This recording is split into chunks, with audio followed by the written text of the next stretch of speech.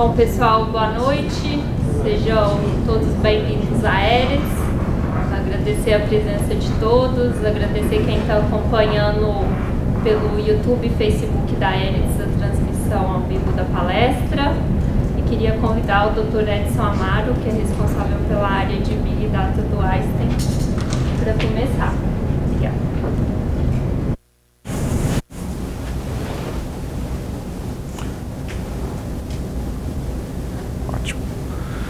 Bom, é, muita coisa para falar, pouco tempo, muitas dúvidas, muitas perguntas. A gente não tem muita coisa é, definida nem no nome, o que é Big Data, porque você pode encontrar várias definições. E tem várias que a gente utiliza no dia a dia. Mas a gente vai falar um pouquinho da trajetória que, que levou a, a instituição, o Einstein, a criar uma área de Big Data. Né? E, e, no meio do caminho a gente vai falando dessas dúvidas, questões, definições, e é mais um bate-papo com vocês. Vocês podem me perguntar e a gente está na jornada aqui junto. Quando tudo começou, uma boa pergunta, isso foi ainda em 2014. No planejamento da sociedade existe uma preocupação em identificar forças em mudança, quais são as tendências, e esse planejamento ele procura olhar quais são as áreas estratégicas da instituição e aí nesse planejamento de 2014, que em 2015 ah, ficou mais claro, mais definido, esse é um planejamento constante, ele é revisto né, sempre. Uma das seis áreas estratégicas foi Big Data. Aí a pergunta que se faz é o que é Big Data? Né? É uma tendência de movimentações que a gente observa na mídia, o momento da sociedade atual, o volume de dados que são criados e os problemas que começam a aparecer no dia a dia da instituição. Alguém começa a dizer que peraí, isso aqui é uma coisa para Big Data. Isso aqui é Big, isto é Big Data. A primeira é, iniciativa que a gente tomou quando me convidaram a participar disso, né, então, foi assim, porque eu, eu sou um indivíduo que é, sou médico de formação, eu fiz uma carreira acadêmica em neurociências, principalmente em neuroimagem, entender como funciona o cérebro é, é o que eu fiz desde 1994, então é, estão aí 20, 20 alguns anos né, de, de carreira nessa área. Trabalhar com a pesquisa, orientar alunos, esse é o meu passado e também sou médico, então eu trabalho no hospital, no Einstein, desde 2002. Vamos fazer 16 anos aí que eu estou como médico do corpo clínico.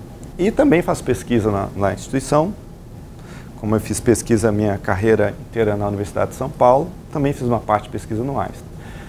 E eu estou lá fazendo essas coisas quando, de repente, nas entrevistas lá, de, como eu disse, força de mudança, olha, parece que você é uma pessoa indicada para trabalhar com Big Data também. E aí eu não entendi bem porquê, mas basicamente é uma relação entre as ferramentas que a gente tem para entender o cérebro, e são ferramentas completas, é, complexas, e parte do que eu fiz foi orientar alunos de exatas, apesar de ser médico. Aliás, a maior parte dos meus alunos de doutorado, pós-docs principalmente, não são da medicina. Porque para entender o cérebro, a gente, hoje em dia, muito mais, mas já há algum tempo, desde 2004, quando o meu primeiro aluno começou a trabalhar com sistemas dinâmicos, a gente usa ferramentas mais sofisticadas. E, e, o volume de dados que a gente gera com os instrumentos para investigar a função cerebral hoje são muito grandes. Então, pelo menos duas letras vezes. A gente tinha de uma das definições de Big Data que eu vou falar daqui a pouquinho, que é baseada numa receita americana, um pouco de bolo, né? Os, três vezes de Big Data, os quatro, os cinco, os seis e hoje os nove vezes de Big Data. E, e aí você, olhando na internet, você vai achar talvez a décima letra V que define Big Data. Mas o ponto é que conhecer um instrumento, ferramenta, algoritmo computacional, sistemas dinâmicos, conectividade cerebral, passa pelo quase o mesmo caminho como a gente constrói hoje as nossas redes neurais com a capacidade computacional que a gente tem. Então, um pouquinho da história de rede neural, é um pouquinho da história de sistemas complexos, é um pouquinho da história dos classificadores. Isso tudo são instrumentos que a gente usa há algum tempo para entender o cérebro humano. E é só isso que eu tinha. E eu sou uma das pessoas que investiga isso. E, claro, eu faço uma parte das neurociências. E o que isso tem a ver com Big Data? Né? E a minha explicação é um pouco essa. E dentro da instituição também, não sou o único que faço com isso, tem mais de 100 pessoas que trabalham com inteligência de dados. A gente começou a olhar isso no sentido de entender o que é Big Data em saúde em particular. Né? E a gente sabe que nas diversas áreas setores que a gente tem na sociedade, saúde geralmente é, é, é uma, pessoa, é uma figura né, que, que adota com mais parcimônia e mais tardiamente as inovações. Por uma razão simples, a gente tem uma cobrança muito grande de responsabilidade a cada decisão que você toma. Geralmente ela diz respeito a uma vida humana.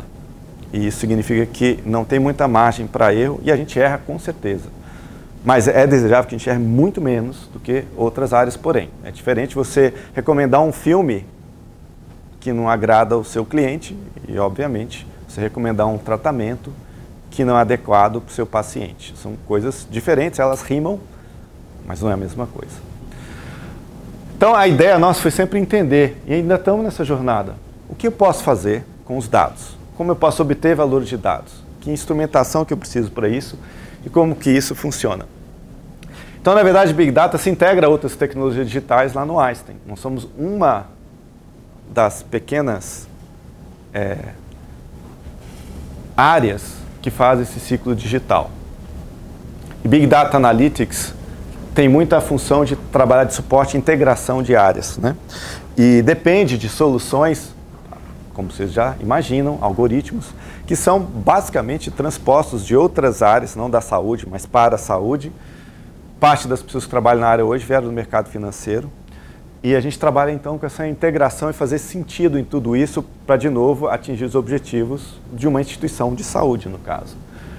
Esse aqui é um slide já bem famoso, é, é até antigo, né, da KPMG, mas ele traduz a jornada que a gente está procurando seguir no Einstein.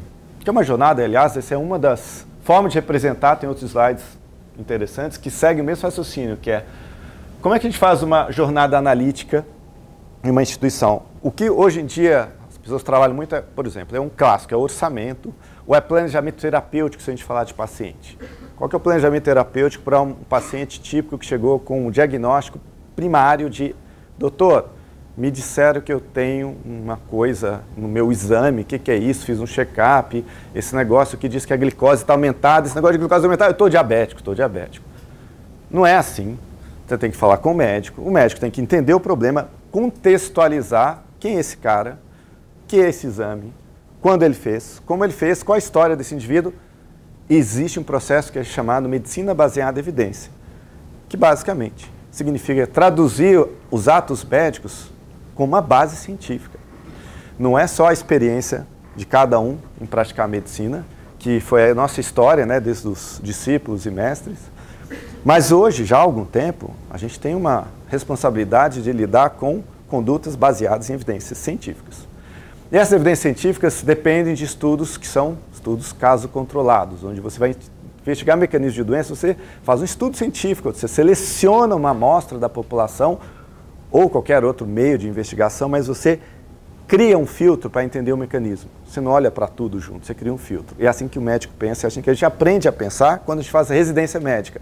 A gente é exposto a várias situações de encontro com o paciente, para depois chegar numa condição onde fazer diagnóstico de diabetes não pode ser uma coisa tão complexa assim. Mas para cada pessoa é. Para cada pessoa não é uma coisa tão fácil aceitar que você, de um dia para o outro, você ganhou uma tarja. Sou um paciente. Você até então era um saudável. Né? E a gente não quer, claro, fazer erros nesse processo. Mas passa por um acúmulo de dados que eu já tinha. E eu posso traduzir isso aqui, tirando o exemplo do paciente aqui, para uma gestão de saúde. Como é que esse hospital faz esse diagnóstico? Como é que essa clínica trabalha com esse plano terapêutico? Como é que eu planejo o cuidado da saúde? Como é que eu mantenho a saúde? Então, como é que eu mantenho a saúde? É uma pergunta importante. O que está acontecendo agora? Como é que poderia acontecer se eu fizesse tal intervenção? E coisas que a gente, essa última parte aqui, são coisas que a gente começou a ver mais, realmente mais recentemente quando a gente teve acesso a um grande volume de dados a baixo custo e poder computacional suficiente para lidar com esse volume de dados.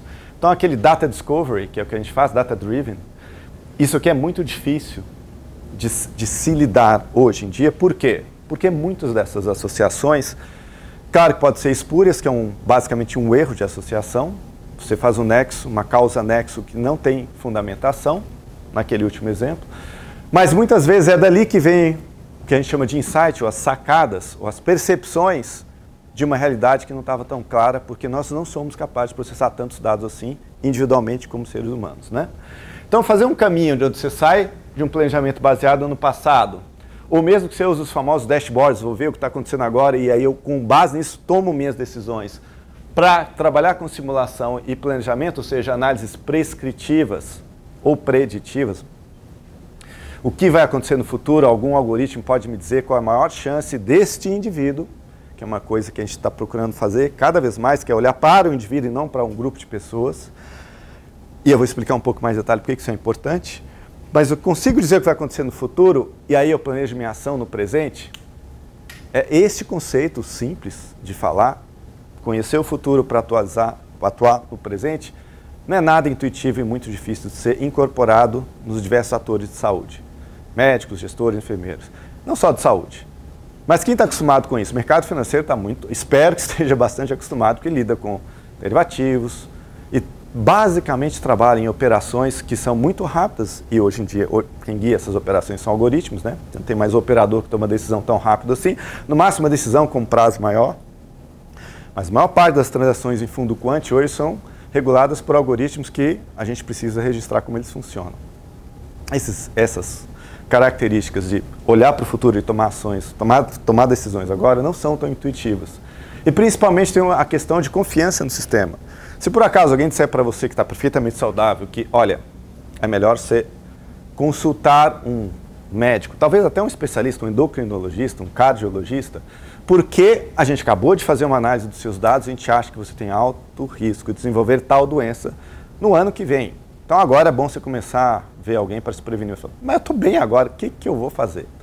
Então todo mundo já assistiu Gataca, não? Uma turma, filme bacana, uma turma estava bem, está tudo bem. Naquela época já se discutia isso uma mídia hollywoodiana. Mas muito antes disso já se discutia o determinismo. E de certa maneira, isso para a gente sempre foi mágica, lenda, charlatanismo, muitas vezes. Né? Como é que eu posso predizer uma coisa se não tem base? Eu não consigo entender por que, que um algoritmo disse que a minha chance de desenvolver tal coisa é 90%. Chance de desenvolver 90%. Ele não botou uma tarja assim e definiu o seu destino. Lidar com coisas que não são nem 0 ou 1, um, e muito menos que são no futuro e não agora, dá uma certa pânia na cabeça das pessoas. Então, usar ferramentas analíticas baseadas em inteligência artificial não é uma coisa tão trivial quanto pareça, quanto pareça bacana quando você lê um texto. Vai você tomar uma decisão baseada no algoritmo que te diz que tal coisa vai acontecer lá na frente, você vai ter que decidir agora. Você vai mudar o cuidado do seu paciente, que você prediz que ele vai desenvolver uma resistência àquele quimioterápico? Você vai mudar o seu plano de atendimento de uma comunidade de, sei lá, quatro centenas de pessoas, se você é um agente comunitário e você tem que visitar essas pessoas para manter saúde, você muda a forma de lidar com isso, porque algum algoritmo diz que, olha, tem que brigar pela calçada daquela rua, porque sem essa calçada eu não consigo atender rápido pessoas que vão ter AVC daqui a pouco. Eu preciso de transporte, eu preciso de acesso, eu preciso disso. Essas coisas parecem muito fora do dia a dia, e ainda são, para falar bem verdade. Esse exemplo que eu dei foi muito fora da realidade. Mas outras coisas são bem dentro da realidade. Predizer qual o índice de sinistralidade de uma carteira de clientes de um plano de seguro, um plano de saúde, é realidade hoje. Faz parte das companhias de seguro que trabalham com sinistros de carro. Por que não tra trabalhar com esse mesmo conceito em pessoas como eu e você? Ah, nós temos riscos, nós temos plano de saúde. Saber quão próximo eu estou de algum evento adverso grave é importante não só para a minha saúde, mas também por quem está cuidando de financiar a minha saúde. Então tem aspectos econômicos, aspectos pessoais, aspectos de crença e tudo isso embaixo de um guarda-chuva grandão que a gente chama de cultura. E essa ideia de mudar a cultura com Big Data Analytics, quer dizer, fazer um caminho de uma, de uma instituição que hoje tem 13 mil funcionários, mais ou menos, sair disso aqui que é fazer planejamento baseado no que eu conheço, dashboards, fazer testes preditivos prescritivos e chegar em, em data-driven, e aqui embaixo está dizendo o tipo de aplicação que a gente pode ter. Tipo, esse é um aplicativo de manejo de um paciente. Esse aqui é de utilização de informação. Esse aqui é de decisão ou suporte clínico à decisão. Esses algoritmos precisam de dados, os dados têm que estar bem organizados. Organizar dado, governança de dados é um problema e um limite. Por que, que eu estou falando de toda essa problemática? Porque isso está na nossa cabeça o tempo todo. Então, não é assim que você cria uma solução de Big Data Analytics numa instituição sem pensar em toda essa complexidade. Porém, se você só pensar que isso é difícil, não dá para fazer, você desiste. E aí a ideia é que a gente, para fazer esse planejamento, a gente fez primeiro um roadshow, a gente foi nos Estados Unidos, conhecemos algumas firmas, tentamos entender como é que a gente organizaria isso. E a ideia é que a gente precisasse lidar com essas competências técnicas, que são necessárias. A gente precisava trabalhar com médicos e no, no hospital a gente tem grupos médicos assistenciais, os GMAs, que é uma forma de fazer com que o médico está atuando seja ouvido pela gestão e tenha num fórum de discussão a possibilidade, o hospital ganha com isso, de usar ideias de quem está lá na ponta vendo o problema. Então esse é um fórum bem interessante. Depois, se vocês quiserem, tem publicação sobre como é que o Einstein organizou os GMAs, mas qualquer fórum que envolva pessoas, de novo, não são médicos, enfermeiros, tendências de enfermagem, pessoas que trabalham na farmácia, essas pessoas que cuidam da operação têm que ter um fórum de, de conversa, isso tem que ser ouvido para quem faz a gestão. Essa ideia de colocar pessoas juntas, médicos e técnicos, para fazer projetos é fundamental. Se você quiser criar cultura, é fazendo alguns projetos que as pessoas entendem o que é esse negócio de inteligência artificial? O que é machine learning? Por que eu preciso ter o dado desse jeito? Por que tem que estar nesse formato? E por aí vai. Então, essa ideia também pode ser passada, claro, por treinamentos, cursos. E tudo isso são ações que a gente tenta fazer, a gente tem construído o caminho de Big Data no Einstein assim. Outra característica é assim, isso é um slide mais antigo de como a gente começou, é como é que você monta a área. Você, você traz um monte de gente, põe lá dentro fala, faça um Big Data aí, tá bom, viu? Fecha a porta, vai embora, volta no dia seguinte, está lá um um cubo desse tamanho, Big Data, cheio de bolinha, parecendo um dado. Esse dado, né? Big Data, está feito, não é. Então você tem que pensar em como fazer isso. A nossa forma, como a gente escolheu, não sei se está certo ou não, foi usar pessoas que já trabalhavam com dado na instituição, alocar parte do tempo delas numa área de concentração e trazer algumas pessoas que têm conhecimento, claro, para dentro da instituição e deixar essas pessoas trabalharem com projetos que são das áreas que demandaram soluções para problemas que elas estão tendo no dia a dia. Então, o pessoal de design thinking vai pensar: puxa, vamos ouvir as dores das pessoas e vamos tratar isso. E é isso mesmo. A gente usou uma metodologia parecida, um pouco mais resumida, com o que design thinking faz. E as áreas estão aqui em volta receberiam de volta essas pessoas que fizeram seus projetos por alguns meses e teriam então a sua capacitação ou proto-capacitação para lidar com problemas usando as ferramentas de Big Data Analytics, acesso à base de dados, caracterização de variáveis, elaborar uma pergunta que tem sentido ser respondida, isso tudo é importante. Bom, a gente começou com pessoas que trabalhavam e geravam novas metodologias. Não eram pessoas que pegavam soluções da prateleira e usavam. A gente queria gente que fez, gente que, gente raiz, tá bom? A gente tem Nutella também, não tem nada contra Nutella, mas a gente queria pessoas que pudessem apoiar outros mais jovens, que por sua vez apoiariam pessoas das áreas e caminhariam nisso. E obviamente tem uma formação bem mista. Engenheiro de computação, estatístico, desenvolvedores, médicos, físico, físico teórico, matemático, aliás, tem um médico matemático que faz parte da equipe aqui, uma espécie rara, especialistas em saúde global, que é uma, uma coisa que a gente fez. A gente mandou pessoas para fora, foram pessoas treinadas no MIT, na LSI, London School of Economics. A Maíra deu uma palestra aqui, foi uma pessoa que fez isso. E a ideia é você junta todo mundo aqui com alguma formação acadêmica, nem todo mundo tem, não precisa, precisa ter uma formação acadêmica, um título acadêmico, na verdade não, precisa ter experiência. Agora, geralmente a pessoa que conduziu aquele projeto, que gerou essa solução, que fez algo de novo, em aprendizagem de máquina, inteligência artificial, geralmente essa pessoa acaba tendo em algum momento uma vontade de fazer um título acadêmico, então é muito comum se encontrar na universidade, que é onde a sociedade costuma gerar conhecimento, mas não é o único lugar. Eu gosto de deixar esse parênteses claro, para não ter essa impressão ah, de que título de doutor resolve muita coisa. Por outro lado, também não podemos ignorar que hoje a cátedra, onde a gente gera conhecimento e as pessoas têm tempo, sem pressão de produzir algo pronto e estar tá na rua, ainda é, e é muito importante a gente ter uma formação acadêmica universitária. Não é o único lugar. Ah, como é que ficou a estrutura dentro do hospital? A gente tem um hospital que tem diretor, como qualquer indústria, né? Gerente, coordenador, responsável, etc. Não funciona bem assim se a gente quiser trabalhar numa velocidade que é necessária para esse tipo de análise. Esse aqui é uma figura de um livro que é XL XLR8 Accelerate, talvez vocês conheçam, porque de fato você precisa ter mecanismos um pouco mais ágeis de absorção da cultura de Big Data Analytics, que depende inclusive de velocidade. Um dos vezes de Big Data, falei de volume, é V de velocidade. Os dados têm que ser processados e ser consumidos onde que tem sentido, que se você demorar muito tempo para processar esse montão de dados, na hora que você vai usar o dado, ele em si já está desatualizado, não corresponde ao estado da natureza no momento da aplicação. Então você tem que manter isso rápido. Então a gente fez células de trabalho organizadas em rede, integrar as competências específicas de Big Data e pessoas das áreas, sempre juntos. Produção e difusão de análise de conhecimento em assuntos estratégicos, isso é, é óbvio. Se esse é uma área estratégica, você tem que colocar, claro, seu investimento onde que tem mais sentido trabalhar. Esse é um roadmap meio comprido, não vai dar para explicar tudo isso, mas é sair da organização que não tem cultura de Big Data para a organização que tem cultura de Big Data, através de vários eixos, mercado, oferta, organização, competência tecnologia, e tem um caminho grande para ser feito aí. A gente também fez parceria, e em 2017 a gente fez o primeiro, desculpa, 2016 a gente fez o primeiro Dataton com o MIT. A gente conseguiu um grant, né, um financiamento de projeto de pesquisa um grant competitivo, a gente aplicou, a gente ganhou, e a gente organizou alguns eventos, e até hoje a gente faz parceria de pesquisa com eles em dados.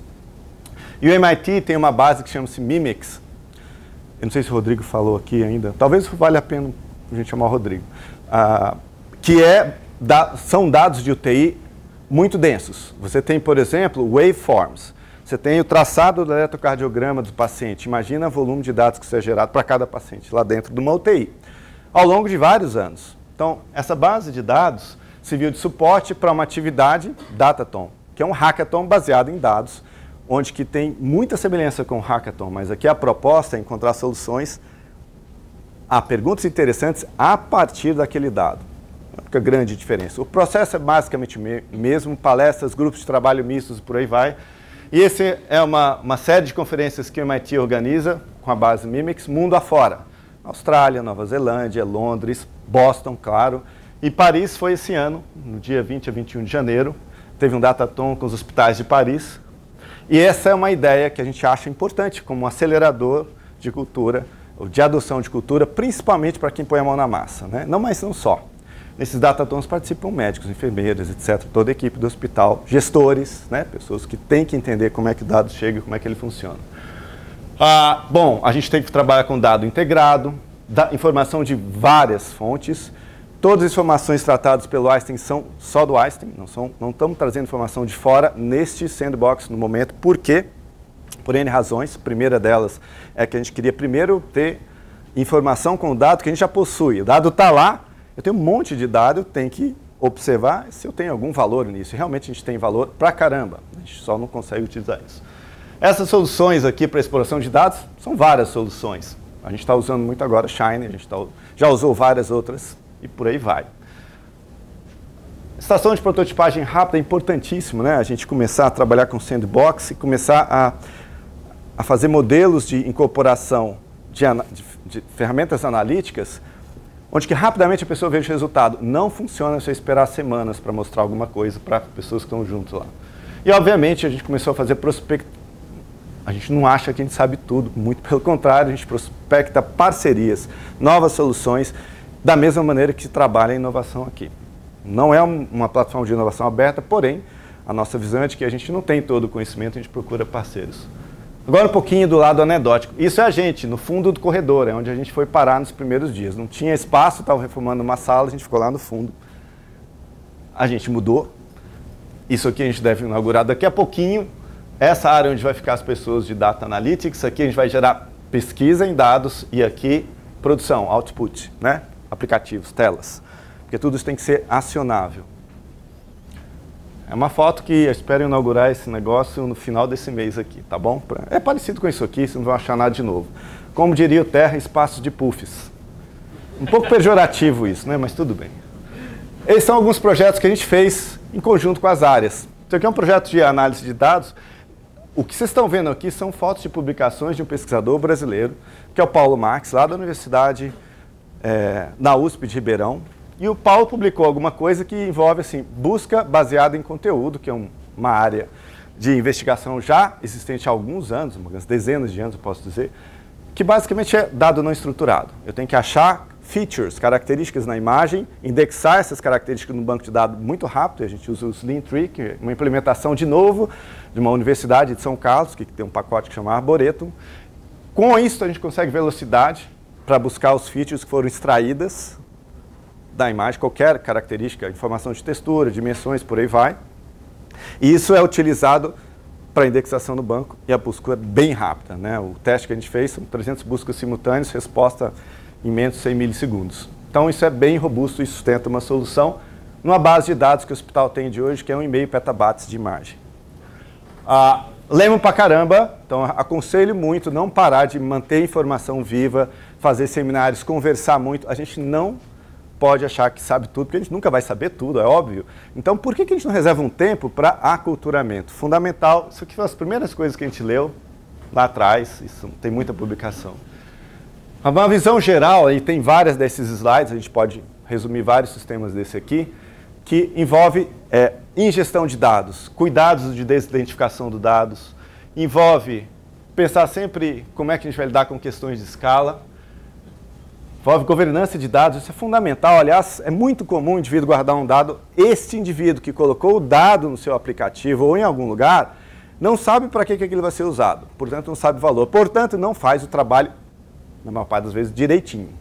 Tem um caso bem interessante, o hospital aqui em São Paulo, especializado em coração, quando a gente olha os dados do hospital, quer saber qual a pressão arterial média de um hospital que trata gente que tem doença no coração. Qual que era a pressão arterial média que você acha? 12 por 8. Tem sentido? Não tem muito sentido, né? Por que, que você acha que estava? É um combo box que as pessoas têm que clicar lá com a pressão, porque tem que dar alta agora. Vai apanhar a pressão, dá alta, logo e pronto, acabou. Gente, não funciona. Ah, Puxa, não pode ligar no IoT, que mede a pressão e faz a alimentação direta, está isento de erro? Quantos IoT vocês viram que funciona pristinamente o tempo todo? Muitos avionics, sim. Mas essas coisas aqui, essas coisas, não esse aqui, esse aqui é velho, mas essas coisas que a gente pendura na gente, elas não são tão precisas no nível que você imagina. Essa a gente já sabe disso. A gente usa pelo valor que a gente consegue extrair sabendo do erro desse instrumento. Mas isso acontece com o instrumento ser humano, isso acontece com o instrumento eletrônico. Tem que lembrar que tem erro na coleta de dados. E a curadoria do erro deve acontecer na ponta. Não adianta colher um monte de dado que depois eu vou limpar o dado, que hoje a, a piadinha que se conta é maior parte dos cientistas de dados passa 80% do seu tempo limpando dados e 20% reclamando que está limpando dados. Porque realmente fazer o modelo rodar o modelo, com o tempo você aprende a fazer isso bem feitinho. Claro que gasta tempo nessa última parte, é a mais legal. Mas o osso, o que você tem que fazer no dia a dia, é limpeza de dados, é tratar dados, mas não precisa o tempo inteiro. É meio racional. Vocês pensaram como é que a gente funciona? A gente continua deixando as pessoas colocar o dado do jeito que elas põem, a gente continua achando que um algoritmo vai resolver tudo isso depois. É, não é muito racional isso. A gente tem que colocar mecanismos de reforço positivo para recompensar quem faz isso direito, seja quem um algoritmo, ou seja, trabalhar melhor na consistência disso, seja por que um ser humano tem que colocar 12 por 8 numa interface. Tira isso da frente dele, isso é ruim para cara. Você gosta? Eu não gosto, não acho legal. Agora pode ter um obsessivo compulsivo que gosta, 12 por 8, 12 por. Isso é entender o ser humano e usar melhor o ser humano, da mesma forma que a gente escreve as nossas linhas de código de algoritmo. Então, a entrada de dado é o lugar para correção de dado. Isso é importante a gente lembrar. Deixa eu ver se eu consigo mudar o slide, que o aplicativo morreu aqui, moçada. É outra coisa, né? Isso aqui de novo é daqueles livros que vocês viram que eu coloquei lá. Qual a estratégia de começar? Comece com o primeiro passo, comece com uma pergunta relevante. Não comece comprando solução pronta que você vai pular e resolver. De novo, aquela ideia de resolver Big Data. Não é assim. Aliás, são umas coisas bem práticas. Né? Se você pega um algoritmo que está funcionando. Deixa eu ver se eu consigo fechar isso aqui.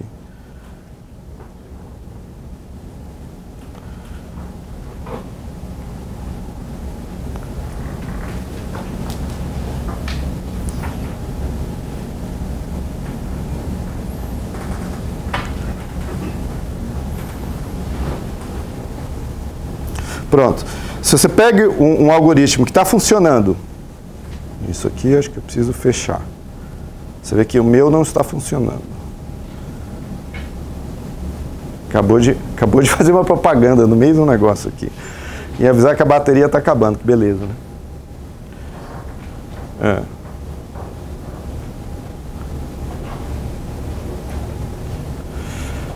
Eu só tinha 20 aplicativos abertos. Desculpa aí, moçada. Vamos, vamos voltar aqui, foco, né?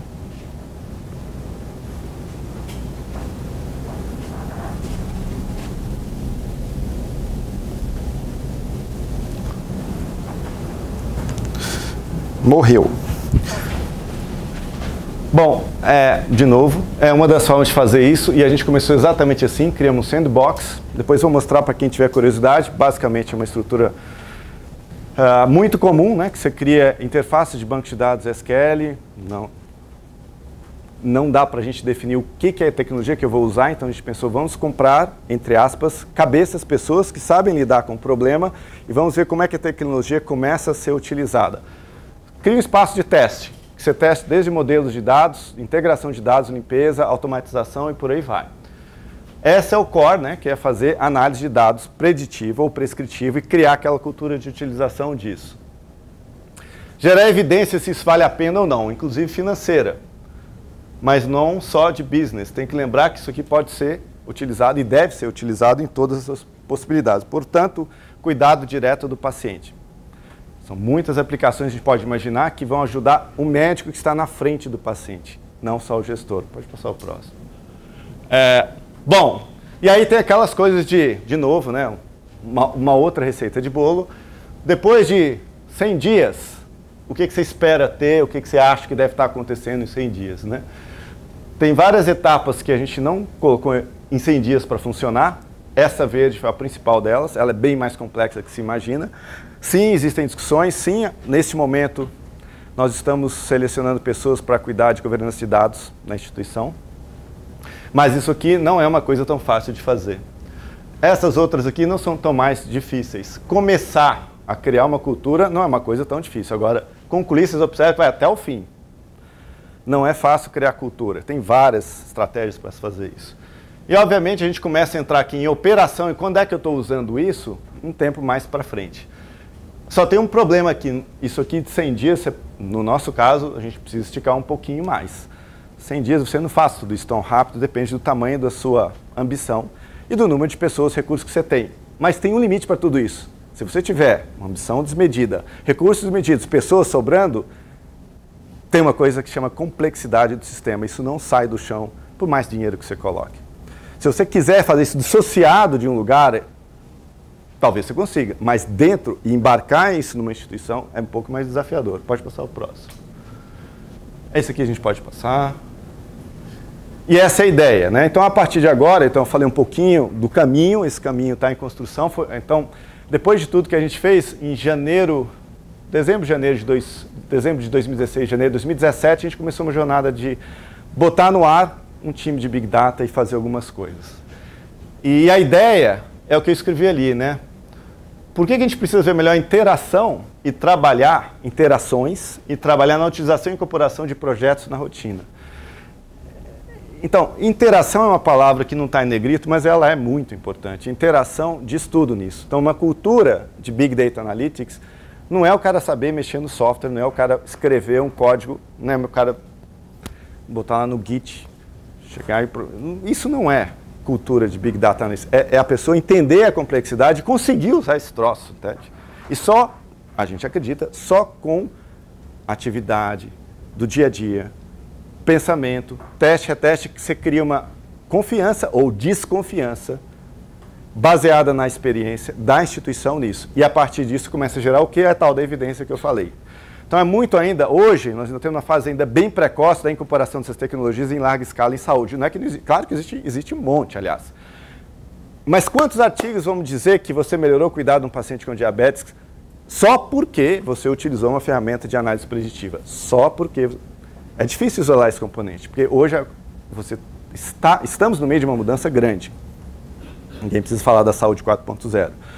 Mas você precisa tentar individualizar quais os efeitos desse investimento de recursos, pessoas, tempo, no benefício que você quer atingir. No caso, cuidar bem das pessoas, deixar essas pessoas longe do hospital, da clínica, do médico. Elas querem, nós queremos que as pessoas fiquem com saúde em casa, promover a saúde. Isso que é o importante. Como é que você consegue mostrar que a gente está caminhando nesse sentido? Então aqui tem um caminho importante, que antes de ir para os slides, tem uma instituição que chama-se o Triple Aim, né, o IHI, e a gente procura seguir esse princípio, que é cuidar da saúde populacional, as pessoas no seu ambiente de trabalho, no seu, no seu dia a dia. Lembrar da eficiência, que isso é muito, muito importante, você ter uma eficiência de alocação de recursos, isso não se resolve de qualquer jeito. E, obviamente, tudo isso num contexto de entender as relações das pessoas, humanidade, por aí vai. Pode passar o próximo. Pode passar o próximo. Então, a gente, ao longo do ano, a gente fez 16 projetos, pode ser o próximo. Eu vou passar alguns desses projetos, alguns projetos não são muito Big Data, mas mostra aquela ideia de o que, que a área precisa. Não é Big Data, mas a área precisava de alguma coisa que envolvia modelagem matemática e otimização. Isso não é, de novo, por definição, Big Data. Mas por que, que é importante?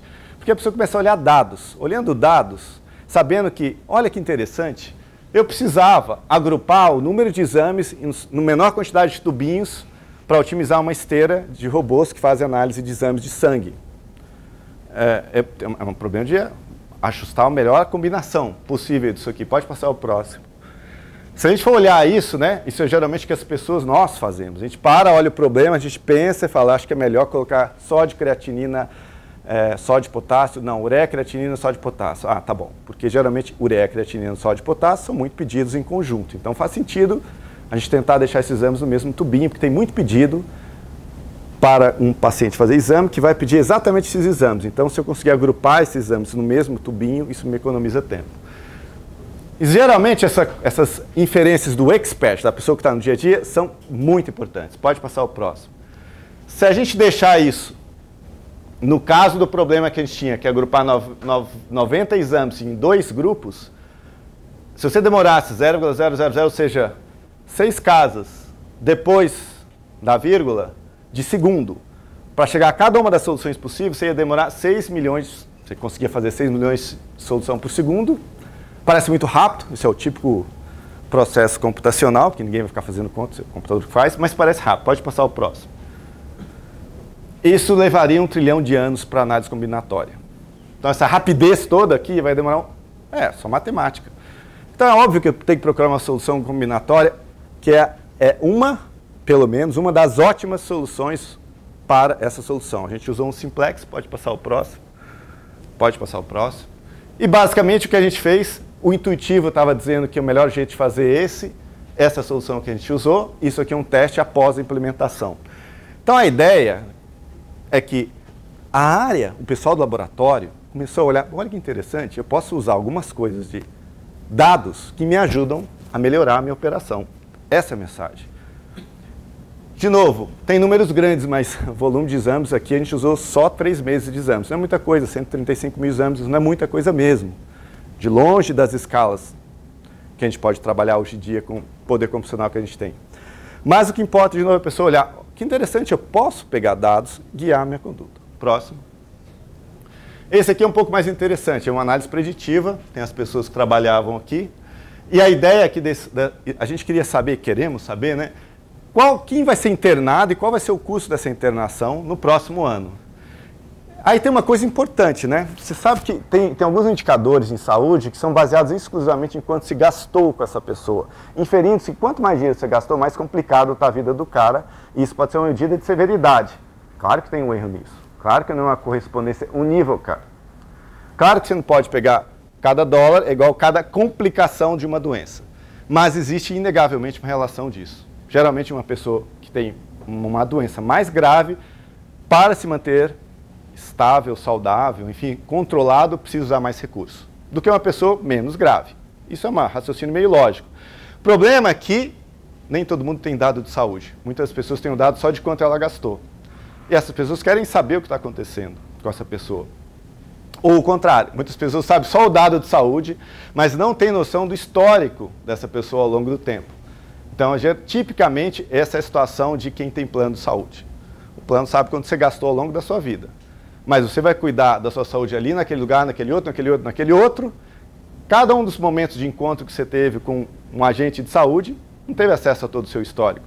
Claro que a gente tem hoje um monte de aplicativos, gente, está cheio de coisa no nosso bolso que ajuda a gente a falar para o próximo indivíduo. Espero que vocês não encontrem tão frequentemente um agente de saúde, pode ser em palestra só.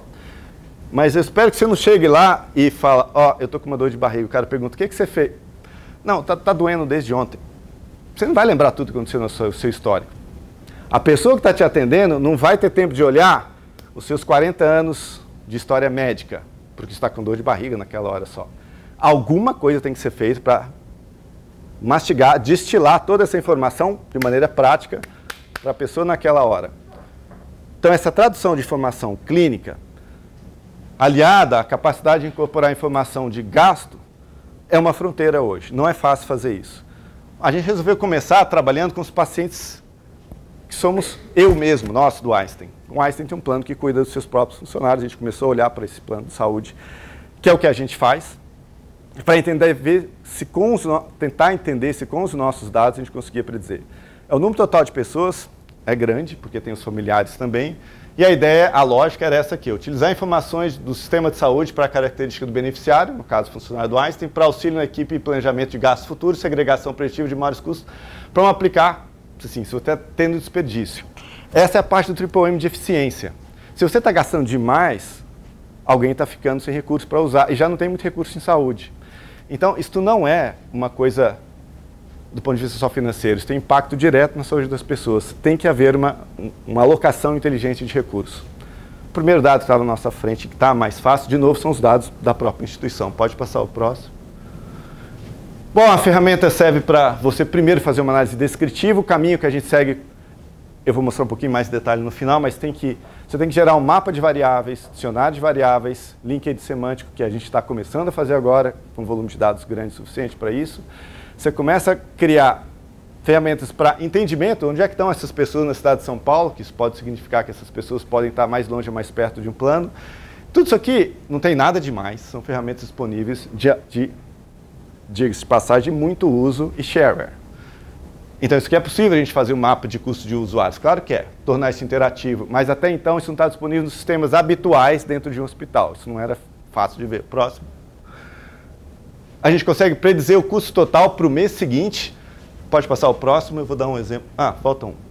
Se a gente olhar isso aqui, isso aqui é uma variação de série temporal. Então, o Juliano, que é uma das pessoas que trabalhava no mercado financeiro, está acostumado a fazer isso porque ele tinha que lidar com o mercado de ações de mercado futuro, derivativos e por aí vai. Então é muito natural para ele ver se essa série temporal consegue ser descrita, predita de alguma maneira. E se possível, predizer mês a mês, e se possível, criar uma previsão que pode ser, não está a janelinha aqui, mas você pode mudar algumas variáveis e saber se essa simulação de que eu coloco mais médico, menos médico aqui, coloco enfermeira aqui, tiro o atendimento dessa clínica, passo para aquela, qual o impacto isso vai ter no custo, no consumo e maior eficiência geral do sistema? Porque o meu objetivo é tornar que esse recurso, que não é abundante, pelo contrário, ele é muito escasso, ele pode ser alocado para a pessoa que precisa na hora que ela precisa. Próximo. Outra coisa que, assim, é, essa é uma curva muito ruim, cá entre nós, a gente tem muitas curvas boas, eu vou mostrar algumas para vocês, ainda bem, mas às vezes o dado não, não tem o poder preditivo que você gostaria. Ah, mas eu usei o modelo tal, usei o modelo Y, usei o outro, criei, sei lá, um comitê de redes, eu usei essa última coisa que eu vi, usei GRU, usei, enfim, Gente, está cheio, tem uma cesta de tecnologia que sai a cada mês na literatura. E talvez a cada, sei lá, dia na internet, quando você procura. Aí eu fiz uma implementação, olha o que, que eu consegui. Tudo bem, você pode ficar testando exaustivamente, você pode usar ensembles de rede, é o que a gente procura fazer mesmo. Mas às vezes simplesmente não tem informação suficiente no dado. Mesmo assim, esse é um exemplo interessante, isso aqui é o índice de massa corpórea, Quanto mais alto aqui, maior impacto na previsão do modelo. Quanto mais baixo, não significa nada, o modelo não tem nenhuma informação útil vindo daqui. Mas o que a gente consegue descobrir é que, na verdade, as escalas de onde o peso, o índice de massa corpórea de, uma pessoa dessa população aqui oscila e não tem nenhum impacto na chance dele ser internado ou dele ser uma pessoa que consome muito recurso no próximo ano, é fora da faixa que está escrito nos livros de medicina. Isso é uma característica desta população que tem esta característica de vida, esta forma de conduzir as suas condutas, esse tipo de uso de medicação, talvez mais, talvez está usando de mais, talvez está usando de menos. Então, todas essas variáveis que estão latentes, eu não consigo mapear tudo isso, talvez possa explicar isso. Eu posso, claro, se eu tiver acesso a mais dados, ter um pouquinho mais de informação detalhada, mas às vezes isso não é possível. Essa informação pode ser útil, pode ajudar a guiar. Eu posso fazer modelos e posso ter números para isso. Mas, de novo, o que mais importa? Aliás, vou dar um exemplo bem prático. Uma vez a gente testou um modelo de predição de número de dias de internação que ficava no, no pé da cama do paciente. O modelo dizia: esse cara vai internar, vai ficar mais 21 dias aqui. Esse cara vai ficar mais 10 dias aqui. Números grandes, a média de internação do hospital é bem baixa. Esse cara vai ficar dois dias, vai ficar um dia, o médico olhava, a enfermeira olhava, todo mundo que passava lá olhava aquilo, olhava o paciente e fazia aquela comparação. Esse cara não, esse cara está muito mal, ele vai ficar muito mais que dois dias. Esse cara está ótimo, ele não vai ficar mais que 20 dias. Essa impressão de confrontar o modelo com a prática do dia a dia é killer, é matadora para a adoção do modelo. Porque nós não pensamos matematicamente de fato. A gente entende que uma predição com 95% de curva tem 5% de coisas que vão estar fora da curva. Se eu ajustar nessa curva de 0,95, onde é que eu quero operar e ter uma precisão disso aqui, perto de 99%, ótimo. Mas o 1% continua sendo, talvez, aquele paciente que mais fez a diferença. Vocês já ouviram falar que você precisa de 10 atos bons para compensar um ruim? Ser humano. Então, na hora que você coloca essas coisas no dia a dia, confronta o modelo preditivo com a observação do indivíduo, que é o cara que vai atuar no paciente, ou atuar em qualquer outra frente, na ponta, você tem que tomar cuidado de que essa pessoa tem que estar brifada e preparada e pronta para entender o que, que ela está fazendo. Senão, é mais fácil, volto a dizer, você usar para a sua decisão um comentário ruim do que dez bons, né? ou melhor, talvez equilíbrio. Então é importante ter essa ideia. E ter a ideia de que isso não significa que exatamente esse é o número aqui, que é o meu corte. Todo paciente que eu, vi, que eu vire na minha frente, se tiver índice de massa menor que 20, tem alto risco de internar no que vem. Não é assim. Você tem que traduzir para o cara o que isso significa. Porque essa é uma das variáveis de impacto. Tá bom? Próximo. Esse aqui é só um modelo de simular, como eu estava falando, mas pode passar o próximo.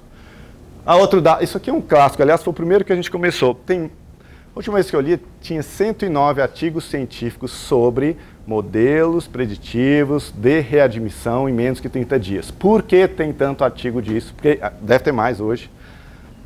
Ah, esse é um efeito do, do, do modelo americano de remuneração que sofreu uma mudança grande com o Obamacare. Basicamente, a taxa de readmissão pela mesma causa é assim. Depois que eu dei alta para um paciente que estava com pneumonia, se ele voltar menos que 30 dias com uma doença relacionada àquilo, ou seja, pneumonia de novo, de acordo com o Obamacare, você não paga a conta da volta desse cara.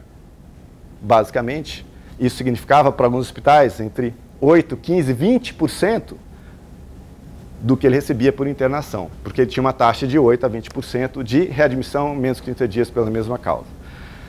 Então isso foi um furor, uma pressão muito forte para as pessoas implementarem esses modelos.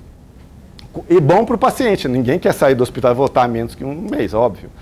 Então, eu acho que esse é um ponto interessante. Olha só, o drive para tudo isso foi claramente financeiro. Mas o benefício é claramente, eu acho, para o indivíduo, aliás, para toda a sociedade. Como é que você resolve isso? Você coloca mais médicos no seu hospital para cuidar melhor, você contrata médicos que têm mais anos de experiência, enfim, você aloca mais recursos para o cara não volte de uma maneira geral? Não, você tem que identificar quem é o indivíduo que está com maior risco de voltar. Então, os modelos preditivos de reinternação são modelos muito utilizados e todos têm um desempenho razoável muito bom para fazer isso. Pode passar o próximo. Aí aqui um, um exemplo desse modelo com dados de 12 de abril de 2017 até 12 de julho de 2017. Cada dia, a cada dia, pessoas têm alta no hospital. Essa barra pequenininha aqui, aqui é o número geral, né, em porcentagem. Essa barra pequenininha que está aqui na minha mão, em branquinho, é o número de caras que naquele dia tiveram alta e voltaram em menos que 30 dias no hospital. Isso tá que está em preto aqui é o que o modelo previu que iria voltar. Isso é um dia. Nesse dia ele acertou bastante aqui também. Nesse dia ele errou tudo. Foi um paciente só que voltou para o hospital, ele achou que o cara não ia voltar. Nesse dia ele acertou 100%. Dois caras, três caras, três caras, acertou todos. Então, o modelo preditivo, é claro que ele vai oscilar ao longo do tempo. E é claro que ele tem que aprender toda noite. Esse modelo roda toda noite e aprende, porque o médico muda a conduta de acordo com o dia a dia dele. Não adianta você criar um modelo que aprendeu com dados de 2013 até 2014, treinou em 2015 e aplicou. Não funciona, moçada. Isso tem que ter um window average. Isso tem que ser aprendizado contínuo, porque isso tem chance da gente verificar a acurácia ao longo do tempo. Então, esse modelo oscilou ao longo do tempo, não variou muito a oscilação, aqui talvez seja só uma tendência, e essa é a ideia de começar a entender a ferramenta com o uso. É assim que a gente começa a entender o que é esse negócio de inteligência artificial, como é que esse modelo funciona. Eu não preciso dar nome para uma rede de convolução, etc. Mas para quem usa, ele precisa saber, isso tem sentido? Eu consigo com isso planejar a minha ação hoje, porque eu predigo o que vai acontecer no futuro? Toca a mão no microfone, né? Pode passar o próximo. Mais interessante, quais são as variáveis? Toda vez que a gente faz um modelo preditivo, você pode pensar que sempre vão ter duas respostas. O prediction power é o poder preditivo, Pode ter mais que isso, mas pelo menos duas você vai ter. Prediction Power. Tem várias métricas para isso, tem N métricas de, de, comparação de precisão de modelo, acurácia, por aí vai, matriz e por aí vai. E o outro é quais variáveis têm impacto no meu modelo.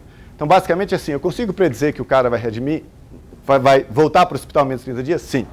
Com qual a precisão? Com esse número aqui. O que, que faz esse cara voltar para o hospital? Isso é importante? Claro que é. Mas isso deve ser visto como exclusivamente a explicação para o retorno dele? Claro que não. Isso aí começa a dar nó na cabeça do povo. Por exemplo, se eu mostrei na minha curva de índice de massa corpórea que menos que 20 era, aumentava o risco de internação, não significa que um cara com menos que 20 vai reinternar só porque é menos que 20. Possivelmente, talvez, ele seja só um marcador, um proxy. Então, treinar as pessoas que o que o modelo está dizendo para a gente são o impacto dessas variáveis, não é igual dizer que são por causa dessas variáveis que ele reinternou. É uma, uma diferença sutil, mas o que, que, significa? Que se o médico não entender isso direito, ele vai falar, ah, o senhor precisa comer mais, o senhor está muito magrinho, senão o senhor vai internar. Porque o IMC está menos que 20, o modelo prediz ele acerta com 90%. Não funciona. Então, isso que eu quero dizer, a pessoa tem que entender o que, que significa esses modelos. Outro detalhe é que tem características de onde ele ficou no hospital, e não só do paciente, que está relacionado à possibilidade de reinternação. Claro, um cara que está na UTI e um cara que passou no pronto-socorro por um pouco tempo, depois foi para um quarto, é um marcador proxy. Ah, mas se o modelo não leva em conta o diagnóstico, leva. Diagnóstico primário, secundário, terciário, até o quarto nível de CD. Se o modelo não leva em conta a história, leva, leva tudo em conta. Mas, inclusive, onde ele ficou internado. Né? Então são coisas para a gente começar a pensar. Ah, é porque a UTI é um lugar ruim para ficar? Não, nunca é bom ficar dentro de qualquer lugar do hospital, é ruim. Eu trabalho lá, eu tenho que ficar lá. Mas não é, de novo, essa ideia de que porque esta é uma variável que explica, aquele, aquilo é a causa. Isso é muito importante ter essa ideia. O próximo. É, pode passar esse aqui, eu vou explicar melhor aqui. Esse aqui é um modelo que a gente fez. Eu acho que é o último exemplo que eu vou. Não, acho que é o penúltimo. Na, o Einstein tem, isso é interessante, a maior parte das pessoas que estão sob os cuidados de, de, de algum profissional do Einstein não são pessoas que têm acesso ao Einstein, são pessoas das nossas, das várias né, interações com o SUS. Então, mais de um milhão de pessoas são vistas dentro de hospitais ou redes básicas de saúde que são cuidadas pelo Einstein. Uma das populações que a gente cuida são populações de UBS. Tem 13 UBS, Unidade Básica de Saúde, que são monitoradas, assistidas. Tem 400 agentes de saúde que também são monitorados. Ou seja, é uma forma da gente cuidar, é uma forma que a instituição tem dentro da sua missão de dar um retorno para a sociedade a respeito de cuidados. Bom, a gente usou um modelo muito simples para fazer isso, que não tem nada. Aliás, esse é o começo. Depois ele sof... sempre é assim. A gente começa com o mais simples, às vezes resolve, você vai sofisticando e talvez essa curva não faça sentido depois de um certo nível. Mas assim, a gente não começa pelo mais fácil de fazer, ou que eu mais gosto, a gente tem um processo para selecionar qual é o melhor modelo. Como se sabe, tem várias formas de fazer isso. Inclusive a nossa experiência. Então a ideia da pergunta é conseguir prever quantas vezes um paciente vai frequentar o OBS. Isso pode adequar um programa de acompanhamento e, de novo, quais seriam os fatores que levam ele não ir à consulta? Um paciente que mora em condições precárias, não tem meio de transporte, sequer tem condições de alimentação, educação, econômicas, ele tem que decidir se hoje eu vou no pronto-socorro, hoje eu vou no hospital, hoje eu vou em algum lugar, ou eu deixo de Ou eu faço um cuidado, por exemplo, da outra pessoa. Alguém fica em casa cuidando porque eu tenho. Quer dizer, a vida não é fácil, tem N variáveis. O próximo. Só para vocês verem, isso é um modelo que a gente chama de mapa de variáveis. Cada variável da pergunta, a pergunta é possível predizer a adesão do paciente à atenção primária devido a condições crônicas. Eu quero saber se o paciente tem uma doença crônica, eu consigo predizer se ele vai fazer o que é predito para ele, se ele vai na consulta, se ele toma remédio, enfim, se ele é acompanhado como devia. Para cada uma dessas, a gente chama de substantivo semântico, eu tenho um conjunto de variáveis. E isso aqui é um heatmap. O que está em vermelho é o que eu gostaria de ter digital, online.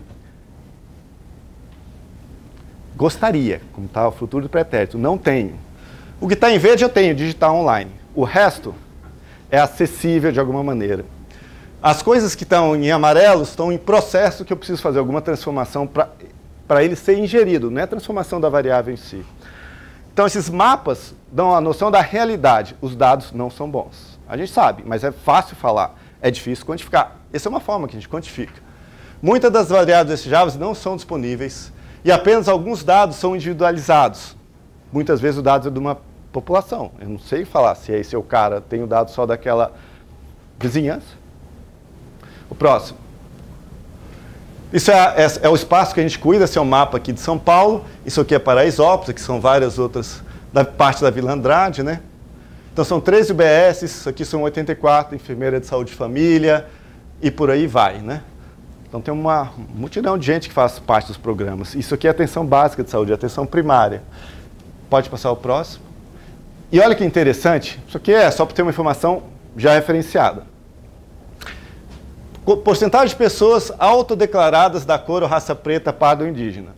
Então, esse é o mapa que é fruto de um trabalho da professora Lígia Barroso, da Universidade de São Paulo, que traz uma informação a respeito de uma autodeclaração de cor. E vocês podem ver Paraisópolis e o resto uma parte das pessoas aqui, e a cor do quadrinho está mais ou menos de acordo com a cor da pele que a pessoa autodeclarou, tá bom? Os mais clarinhos achavam que era mais raça branca, e os mais pretinhos, por aí vai. Pode passar o próximo. Alfabetização. Na verdade, não alfabetização, analfabetizados. Mais escuro, maior taxa de analfabetização. Dá uma olhada em Paraisópolis, dá uma olhada no resto, dá uma olhada em algumas partes do resto. Super heterogêneo, muito heterogêneo. Mas dá uma particular olhada em Paraisópolis. Próximo. Rendimento médio mensal, declarado. Dá uma olhada de novo para Isópolis, dá uma olhada no resto. Tudo isso que eu mostrei são determinantes sociais de saúde bem conhecidos, bem conhecidos. Como é que eu uso esse dado para predizer se essa pessoa vai ser alguém que vai aderir a o que está prescrito, por exemplo, um diabético tem que fazer uma consulta, cada seis meses, se ele estiver controlado, se não estiver controlado, tem que voltar numa frequência maior e por aí vai.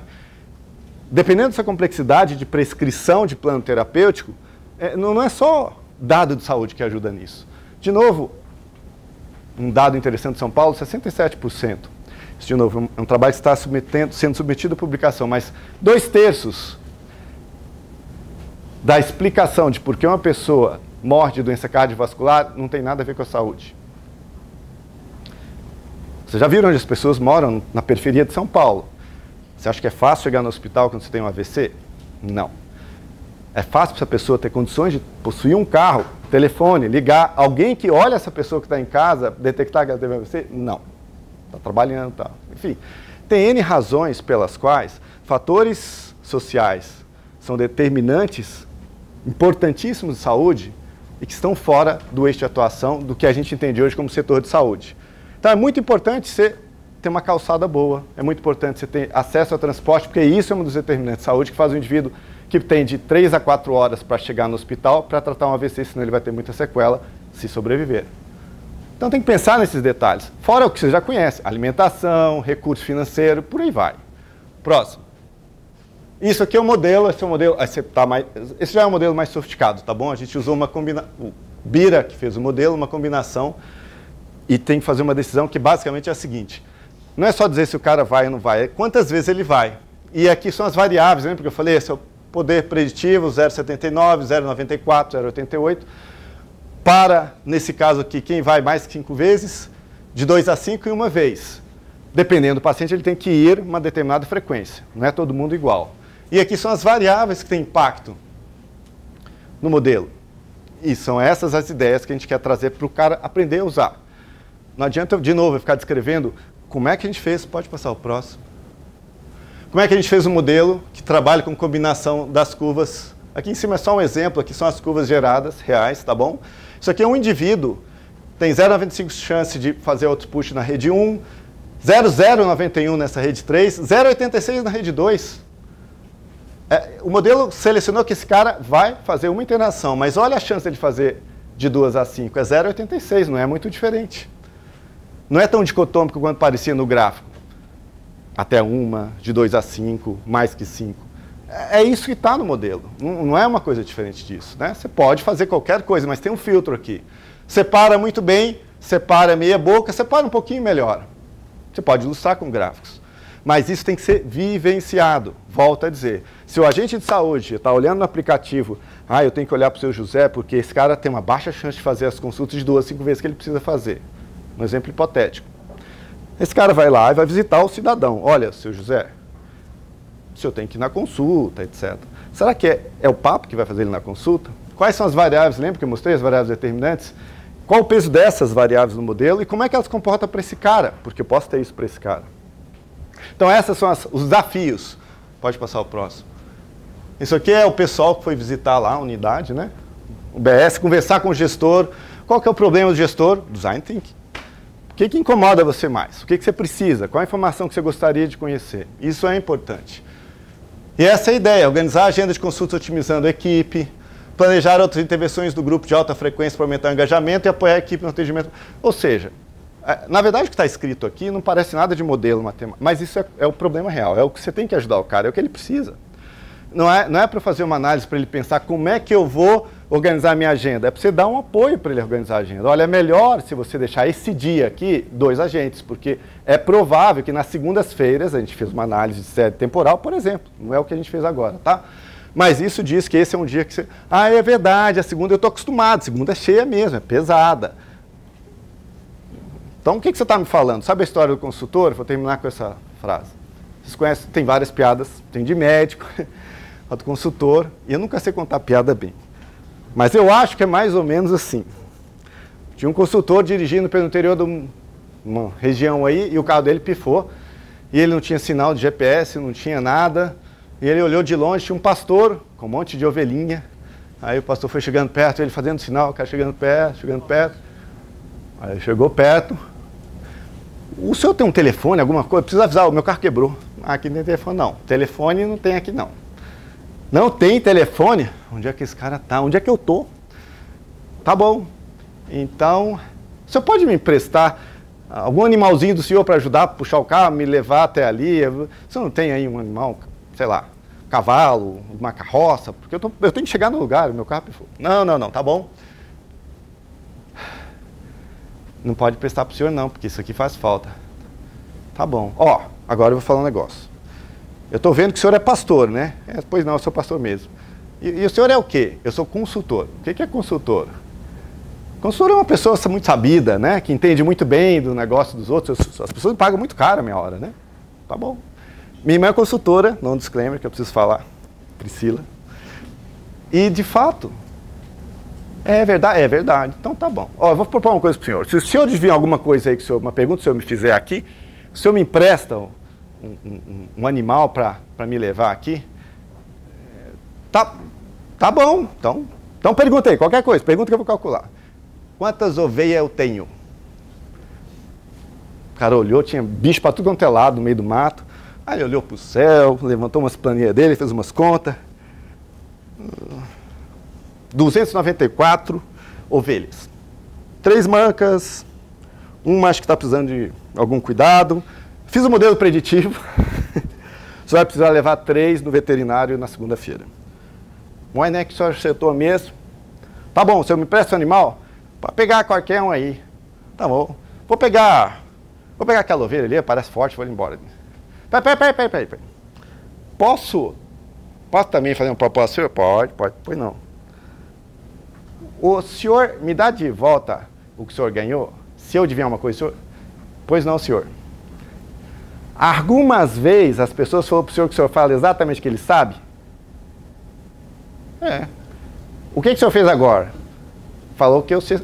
Pois é, então pode devolver o meu cachorro, porque eu preciso dele para o rebanho. Em outras palavras, é, eu, é, isso, né? Eu chegar lá, nós chegamos lá e falar para o agente de saúde, eu tenho um modelo preditivo que vai prever, não sei o que, não vai funcionar. Esse cara tem que trazer o que, que ele precisa. Tá, você está falando umas palavras bonitas inteligência artificial, tal da Big Data, né?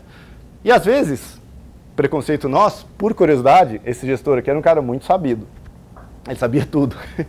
Uma sorte. Você chega lá, o cara conhece tudo, fala, não tem esse recurso aqui, mas se eu tivesse uma rede sem fio, eu conseguiria comunicar com a sua base de dados, será que você não pode me atualizar? O cara sabia, né? Então, às vezes, a gente tem aquela ideia de que, igual esse preconceito né, velado que a gente vai encontrar num lugar humilde de pessoas que não têm conhecimento. Então, o outro aprendizado nosso, aprendeu com isso. Mas uma coisa mais importante de tudo é, se esse cara conseguir usar esse dado, e se a gente observar daqui a um mês, dois, três, ou seja, um ano, o tempo necessário de que ele mudou a forma de cuidado da população, aí talvez a gente acredite, talvez, que isso aqui melhorou a vida daquelas pessoas daquela região, que é isso que a gente quer. Na verdade, é isso que a gente quer. É isso que tem sentido a gente estar tá aqui fazendo essas monte de sofisticações, elucubações. É legal, é bacana, é ciência, é tecnologia, inovação, mas se essas pessoas não melhorarem a saúde nos lugares que elas vivem, ah, bom, bom, eu não sei se a gente está fazendo muito certo o que a gente precisa fazer aqui. Era isso. Obrigado, moçada.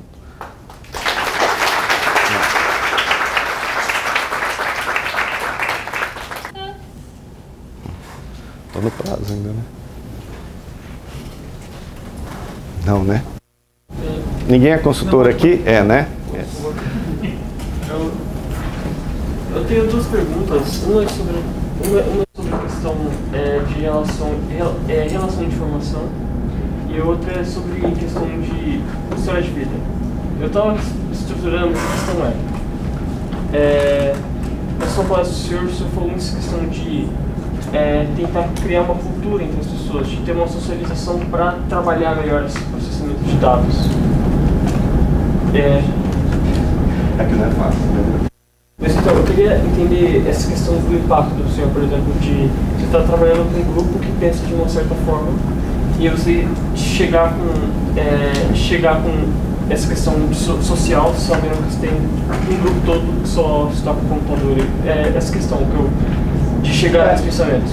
Na verdade, talvez pareça mais estranho do que na verdade é. Como eu dei o exemplo, não é tão estranho, né? O difícil é a pessoa é, internalizar esse conceito e usar no dia a dia. Mesmo a gente, mesmo a gente no nosso dia a dia. É, e demonstrar que isso tem valor, né? Então, assim, quando você começa uma jornada nova, e esse é um tipo é, de jornada onde que, o que te ajuda é que tem um hype sobre o tema. Big Data, Machine Learning, hoje é bola da vez, todo mundo fala esse troço, não, não é novo de fato. O que é novo é, é as pessoas deixarem o seu aprendizado e a sua ação do dia a dia e fazer o risco, pelo menos em alguns momentos da sua atividade de trabalho, com essas ferramentas. Isso é um pouco novo ainda, na saúde, pelo menos. De, volto a citar o exemplo de telefonia, outras, ah, outros setores da, da, da, da, sociedade, que isso não é nada novo, isso, aliás, é a base do trabalho. Né? Mas para a saúde ainda é, ainda tem uma, uma questão de, não só pela, talvez, a, necessidade da gente é, rechecar muitas coisas e não acreditar no face value, né, no que está na frente. Ah, tá bom, vou pegar isso aqui e sair usando. Mas talvez o mais importante é, é, o grau de responsabilidade que a gente tem dentro de cada ação. Todo mundo tem, um engenheiro tem, um piloto de avião tem. Mas aqui é muito frente a frente, né? Você está olhando para uma pessoa, boa tarde, você está bem, e para aquela pessoa você vai falar, faça tal coisa. Não é que você fez um cálculo estrutural e colocou, sei lá, uma ponte ligando dois pedaços de terra. Não é só isso. Então isso é desafiador. E o que você me perguntou de, de pegar uma galera que está acostumado, etc., e chegar. O que, que vocês querem fazer? Mudar a vida para o lado melhor das pessoas? Ótimo. Como é que essas pessoas veem isso? É, não é suficiente só a gente querer, é melhor. Melhor não. É, é necessário entender como é que o outro está te vendo. -se. Você chegou com uma solução para o cidadão que tem um problema legítimo que existe, é claro que ele vai, no mínimo, testar. Mas você chegar com algo que você acha que é importante para ele, e você tem talvez evidência séria de que é importante, você tem que passar pelo processo de convencimento. É o exemplo que eu dei. Se você não deixar essa pessoa preparada para receber isso, provavelmente ela vai refutar isso. Então você precisa que criar condições de, o pessoal fala, run the extra mile, né? E, e um passo além. Não basta só chegar, fazer a coisa. Isso aqui é ótimo. É óbvio que ele vai usar. Não é óbvio que ele vai usar.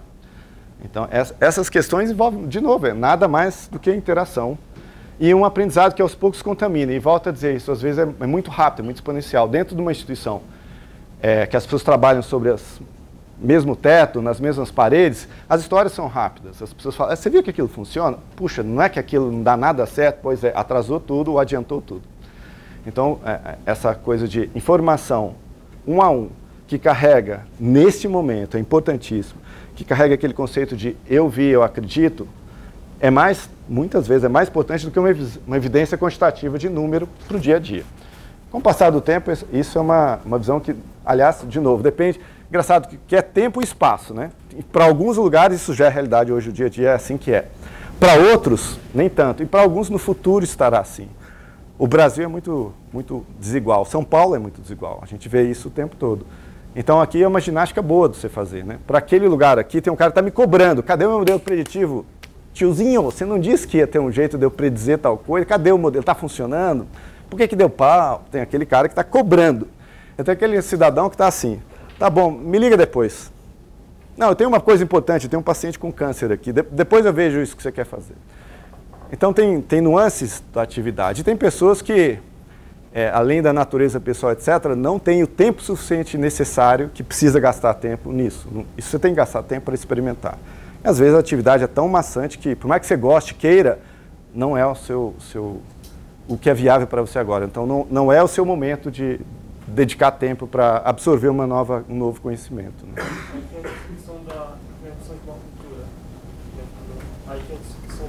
Então, pois é, então, é, cultura não é uma coisa fácil, mas, é como eu disse, é, na verdade é pouco previsível e tem ferramentas para isso, você pode estudar.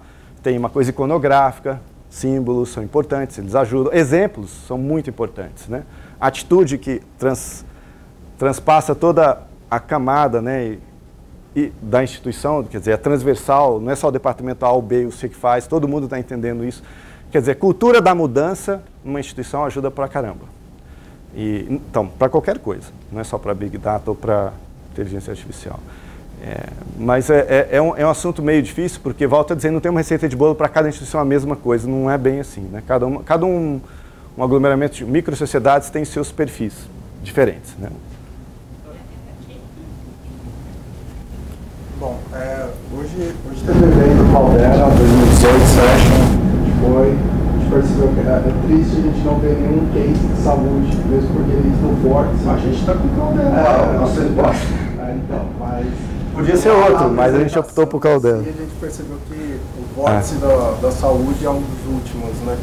Então, é. tem segmentos de varejo e financeiro que estão resolvendo problemas operacionais Isso. de uma forma bem simples. Isso. Né?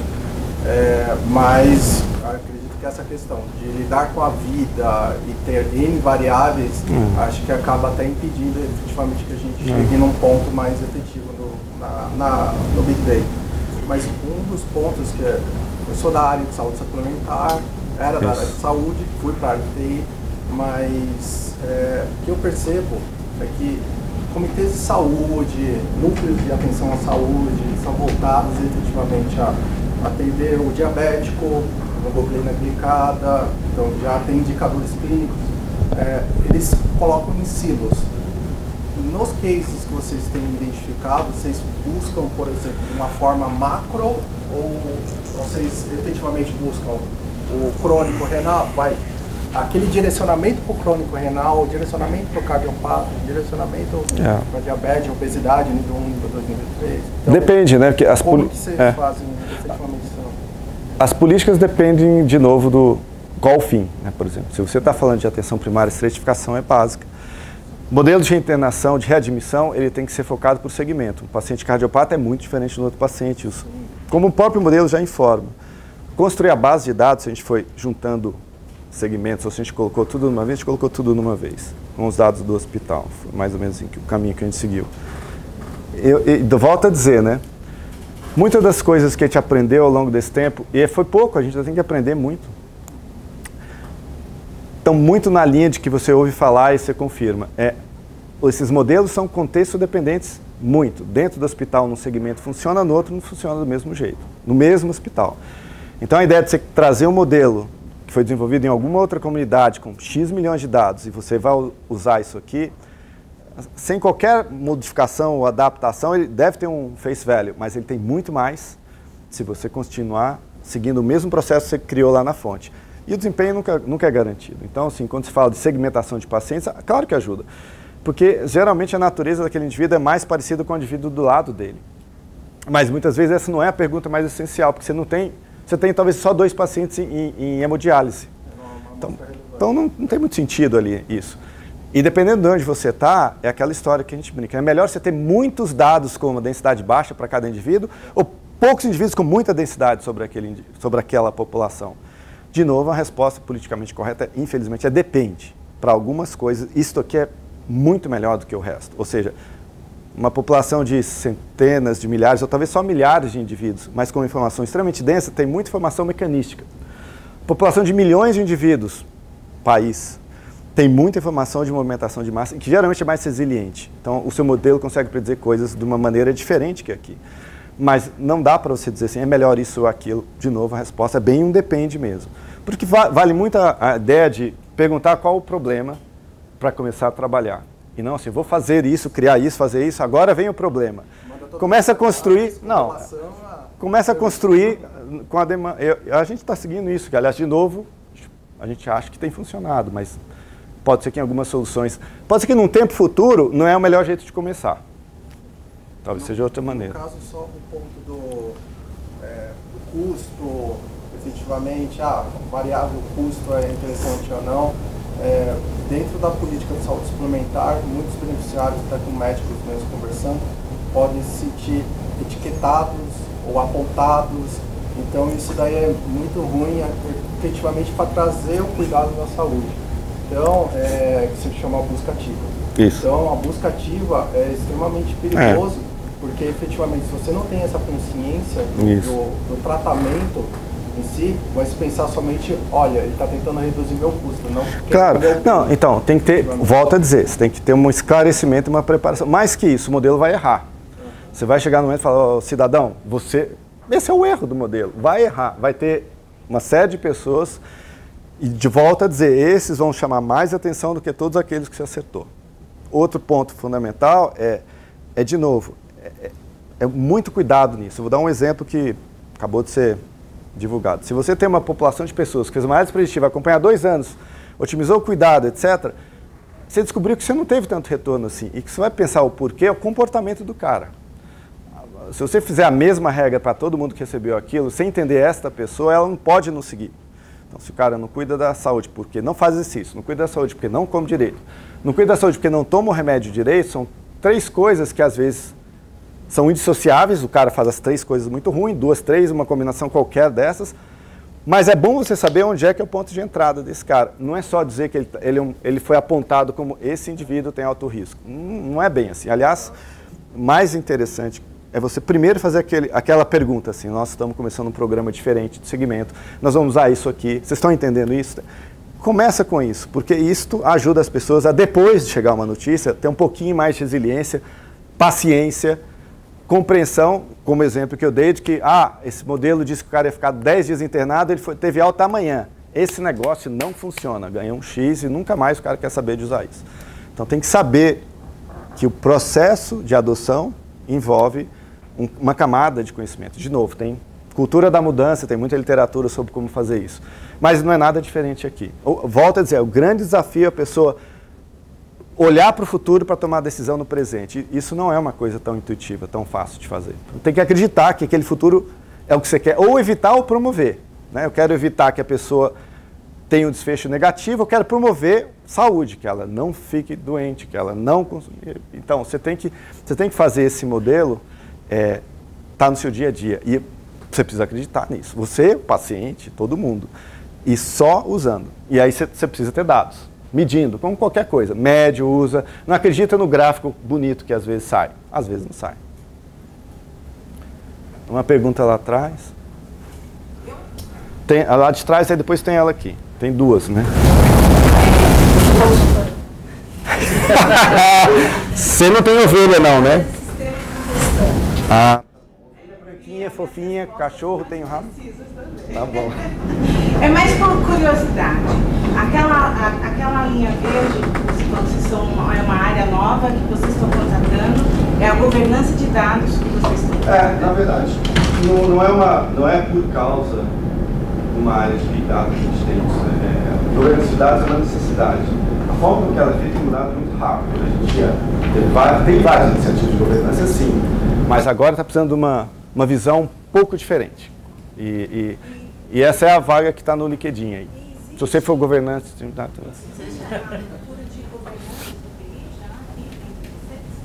Então, sim, então isso é diferente. Né? Tem uma diferença em, em classes e nível de governança. Governança de dados não é uma atividade única exclusiva de TI. A, a, bem da verdade, né? Isso é muito importante porque todas as pessoas. Se você for ler, tem, um, tem uma instituição que chama DAMA, né? que, é, que é um. Teve um congresso aqui no Brasil esse ano, acho que foi esse ano que teve. Tem um livro azul que você pode ler, e acho que lá é legal, procura na internet, e, e lá tem as, os, os, vários níveis de como, como organizar uma governança institucional, quais são os processos, quais são os grupos, como é que você deve implementar, modelos de implementação, um pouquinho que eu falei aqui. Ah, e, de novo, é, é uma, uma questão de contextualização. Para algumas culturas você vai, vai ter pouco esforço, para outras você vai ter um baita esforço. É uma organização, não sei, o acróstico é DAMA, D-A-M-A, dama.org, eu acho que esse é o endereço, posso estar errado, mas deve ser isso. É, assim, vocês estão estruturando aí o Data, né, armazenando uma série de informações e vai chegar uma série de conclusões, ações até preditivas. É, como vocês equilibrar isso daí com a questão da, da ética, bioética dos dados? É, não, então é uma questão a pauta, né? Você, tudo que a gente faz, por isso que eu falei logo no início, o, o, modelo que a gente tem usado agora são dados que estão dentro da instituição. A gente tem muita vontade, tem todo sentido trabalhar com dados que integram o indivíduo, em outras palavras. É muito bom saber o padrão de consumo dele. Isso não é dissociado, como eu lembro que eu falei do determinante social da saúde, para alguns desses dados a gente pega dados públicos para usar, porque são públicos, mas a gente não vai ativamente fazer um survey para isso, né? Ah, é, é, que a verdade é que se, se você não, não, não tiver uma compreensão do valor, é um pouco o contrário. Você não consegue identificar por que, que você precisa ter esse dado disponível. A outra coisa é a moeda justamente oposta. É que não dá para você fazer. A gente tem. Deixa eu ver se tem um, um, slide aqui de desidentificação, que é coisa rápida. É, isso aqui é uma, é um, uma série de de procedimentos, um conjunto de redes. Isso é um trabalho de desidentificação de dados que foi feito pelo pessoal do MIT, com o qual a gente tem parceria. A gente implementou isso justamente com os dados daqui, desta unidade do Einstein, em relação à unidade, mas quer dizer, a brincadeira a gente fez, ah, faz de conta que isso aqui é de fora, não é de fora, é de dentro, é o residencial aqui, e a gente vai lidar com esse dado como se fosse de fora. E vamos ver se a gente consegue descaracterizar o dado mantendo a informação relevante, que essa é a balança difícil. Você não quer expor o paciente. benéfica para o próprio paciente. Isso. Então. Então, só que às vezes, quando você está é. coletando dados, você ainda não, então, não tem essa. Mas na hora de.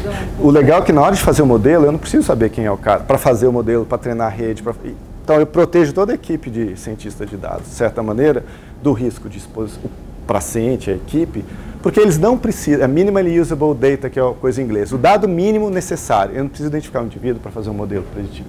Uma vez que eu fiz o modelo, eu passo isso por uma caracterização e lá eu preciso saber quem que é, porque é o que você falou. Mas, de novo, essa pessoa sabe que ela pode estar sujeita a isso. Como é que são essas questões? Na verdade, as pessoas, hoje em dia, já são, entre aspas, analisadas para o seu melhor cuidado, de N formas. Então, até um pouco de hipocrisia a gente discutir, mas é uma responsabilidade, a gente entende assim.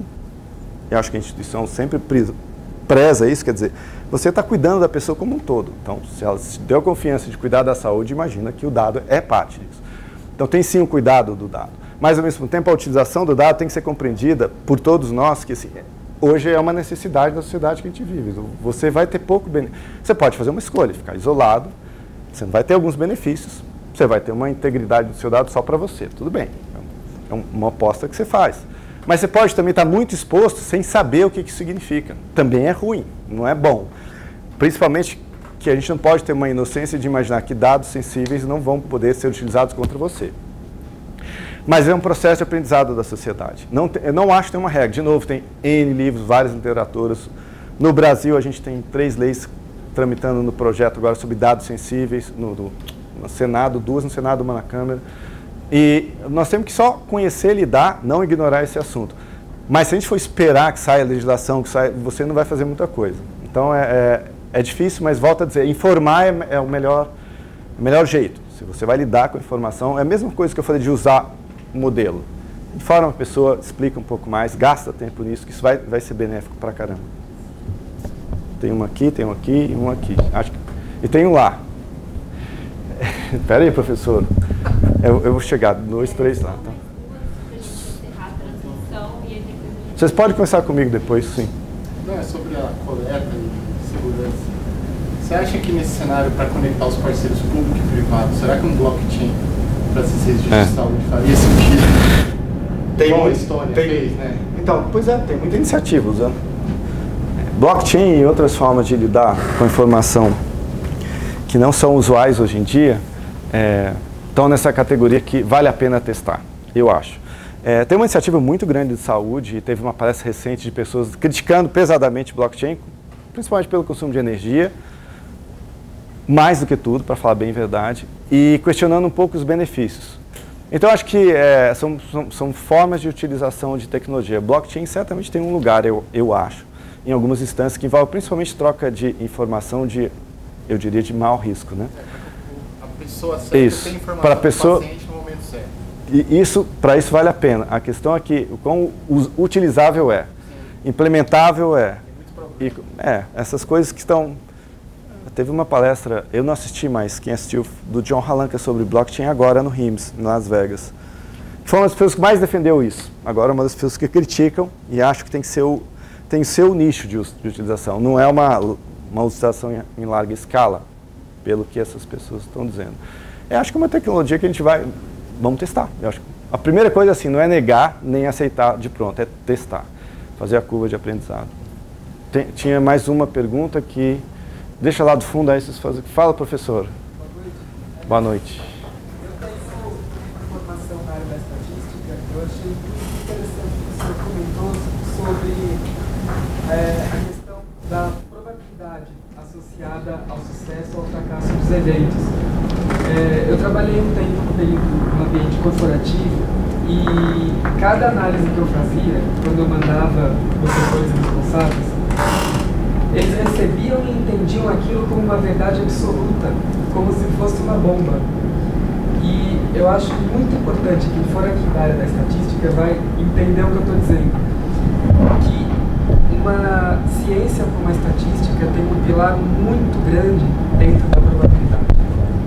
E é muito importante em todos os estudos, análises, modelos que você faz dentro da estatística, destacar essa probabilidade, para que a pessoa que recebe a informação não vê isso como uma verdade absoluta, como é isso que vai acontecer e fica evitando essa situação de brigar com o modelo, de ficar duvidando da resposta do modelo, porque é, assim como a estatística tem um pilar na probabilidade, o Big Data tem um pilar na estatística, então está diretamente associado com probabilidade, que está associado com incerteza, com risco, então, eu acho extremamente importante deixar sempre evidenciado essa probabilidade de sucesso, de fracasso, para evitar frustração na mente das pessoas. Mas não aconteceu, mas não foi isso, mas não foi aquilo.